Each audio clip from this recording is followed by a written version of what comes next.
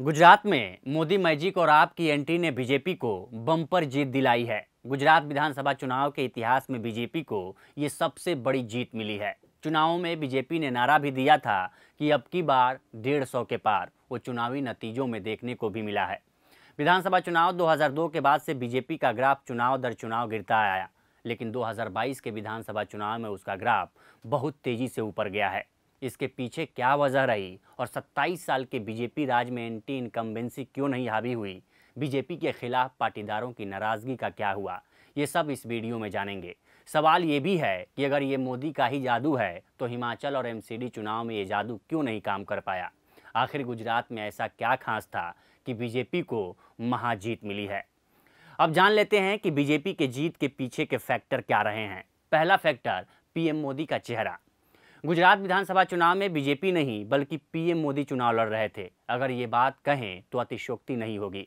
लगातार चार बार गुजरात के मुख्यमंत्री रह चुके पीएम मोदी, प्रदेश और गुजरात की जनता की नब्ज को अच्छे से जानते हैं।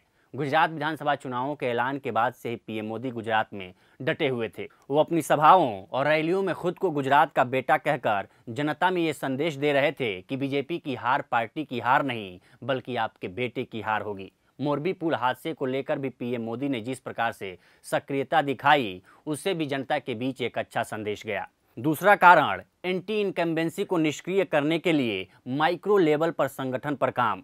किसी भी पार्टी का सत्ता से बाहर जाना और सत्ता में वापस आने में एंटी इनकम्बेंसी सबसे बड़ा फैक्टर होती है। 27 साल के बीजेपी राज में एंटी इनकम्बेंसी को निष्क्रिय करने के लिए बीजेपी ने माइक्रो लेवल पर संगठन पर काम किया था। जिसकी ज़िम्मेदारी खुद गृह मंत्री अमित शाह निभा रहे थे। इसमें कोई दो राय नहीं है कि दूसरे राज्यों के मुकाबले गुजरात में बीजेपी का संगठन काफ़ी मज़बूत है। यही बीजेपी के खिलाफ एंटी इनकम्बेंसी को साधने में कामयाब रहा। अमित शाह ने जहाँ भी एंटी इनकम्बेंसी को हावी होते देखा, वहाँ के उम्मीदवार को बदल दिया। बड़ा उदाहरण मोरबी, विजय रूपाणी और नितिन पटेल की सीटों का है, जहाँ बीजेपी ने अपने उम्मीदवार ही बदल दिए। तीसरा, कोरोना कुप्रबंधन के बाद बदला गया मुख्यमंत्री। गुजरात में कोरोना के दौरान लोगों को इलाज नहीं मिल पा रहा था। शवों को रखने के लिए जगह नहीं थी। सौदागृह में शवों को जलाने की व्यवस्था नहीं थी। ये सभी खबरें मीडिया के स्क्रीन पर फ्लैश हुई। तब लगा कि जनता का गुस्सा चुनावों में उतरेगा। लेकिन बीजेपी ने सारा ठिकरा मुख्यमंत्री पर फोड़कर रूपाणी को बाहर का रास्ता दिखा दिया और भूपेंद्र पटेल को मैदान में उतार दिया। इससे एक और संदेश गया। नाराज़ पाटीदारों की मांग थी कि मोदी के बाद गुजरात की सत्ता पर कोई पाटीदार होना चाहिए। ये मांग बड़ी ज़ोर शोर से उठी थी। भूपेंद्र पटेल को मुख्यमंत्री बना, बीजेपी ने ये भी साध लिया, यानी एक तीर से दो निशाना। चौथा कारण, आंदोलन से उपजे त्रिमूर्तियों को पस्त करने में कामयाब रही बीजेपी। इन्होंने साल 2017 के विधानसभा चुनाव में बीजेपी को चुनौती दी थी, और तब इन्हें बीजेपी के राम, यानी रूपाणी, अमित मोदी के खिलाफ प्रमुख विपक्षी कांग्रेस के हज, यानी हार्दिक, अल्पेश, जिग्नेश के रूप में देखा गया था।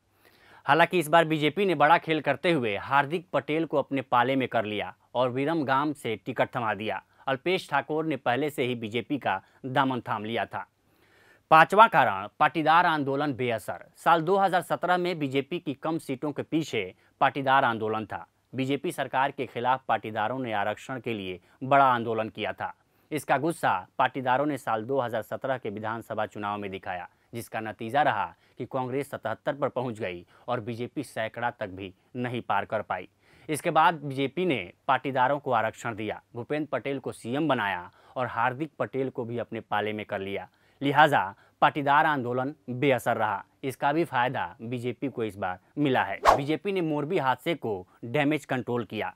मोरबी हादसा जितनी तेज़ी से हेडलाइन बना, उतना ही तेज़ी से बीजेपी आला कमान ने मामले को अपने हाथ में ले लिया। आनंद फानन में मामले को डाइवर्ट किया गया कि ये सरकार की लापरवाही नहीं, बल्कि स्थानीय प्रशासन की लापरवाही थी। इसमें सख्त कार्रवाई की जाएगी। गुजरात के गृह मंत्री हर्ष संघवी लगातार घटना स्थल पर डटे रहे और कार्रवाई का आश्वासन देते रहे। मुख्यमंत्री भूपेंद्र पटेल ने भी घटना स्थल पर पहुंचकर ये संदेश देने की कोशिश की कि सरकार आपके साथ है। इतना ही नहीं, खुद प्रधानमंत्री नरेंद्र मोदी ने मोरबी घटना स्थल का दौरा किया और अधिकारियों को कार्रवाई के दिशा निर्देश दिए। इसके अलावा उन्होंने अस्पताल जाकर पीड़ितों से मुलाकात की। इससे जनता के बीच संदेश गया कि सरकार उनके साथ है, लापरवाही स्थानीय प्रशासन से हुई है।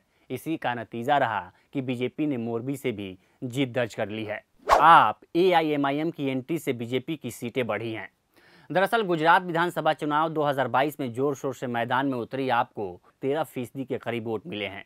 एआईएमआईएम को भी करीब आधा फ़ीसदी बीजेपी को तिरपन और कांग्रेस को 27 फ़ीसदी वोट मिले हैं। अब इन आंकड़ों को देखेंगे तो साफ़ नज़र आएगा कि आपने कांग्रेस के वोट को अपने ऊपर ट्रांसफ़र करवाया है। अगला कारण, मजबूती से नहीं लड़ी कांग्रेस। गुजरात विधानसभा चुनाव में कांग्रेस की निष्क्रियता का अंदाज़ा इसी बात से लगा सकते हैं कि कांग्रेस के सबसे बड़े नेता राहुल गांधी ने पूरे गुजरात में सिर्फ़ दो जगह, सूरत और राजकोट पर रैलियाँ की। ये वो ज़िले हैं जहाँ कांग्रेस का जनाधार सबसे कमज़ोर था। उधर प्रियंका गांधी भी हिमाचल में ही रहीं, यानी कुल मिलाकर कांग्रेस ने गुजरात विधानसभा चुनाव को राम भरोसे छोड़ दिया था, जिसका नतीजा रहा कि उसका वोट बैंक खिसक कर आप पर चला गया। अंतिम कारण, गुजरात के सम्मान का मुद्दा। आपकी कुछ परेशानियाँ होंगी, लेकिन ये वोट तो गुजरात के सम्मान का वोट है। बीजेपी गुजरातियों को संदेश देने में सफल रही। बीजेपी गुजरातियों को ये संदेश देने में कामयाब रही कि अगर अपने ही प्रदेश में हमें हार का सामना करना पड़ेगा तो फिर हम किस मुँह से दूसरे प्रदेशों में जाकर वोट मांगेंगे। बीजेपी गुजरातियों को ये भी संदेश देने में कामयाब रही कि अगर प्रदेश में आप लोग सरकार बनाते हैं तो दिल्ली की दूरी गुजरात से ज़्यादा दूर नहीं होगी।